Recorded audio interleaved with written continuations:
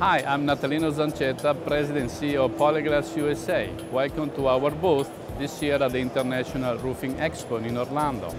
As the largest manufacturing of modified bitumen in North America, Polyglass provides itself with quality roofing material and this year we are showing the Polyfresco GSA, what makes the product unique in its extremely durable in surface.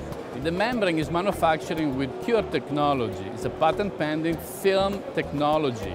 Polyfresco membrane is a California Title 24 compliance, is listed with CRRC and meet Energy Star requirement for reflectivity and emissivity. Another white roof option available at Polyglass are our elastomeric coating. If you're looking for a system that will extend the life of your roof, choose our product line in elastomeric coating, silicone, and other coating available at Polyglass. For more information, visit Polyglass website at polyglass.com.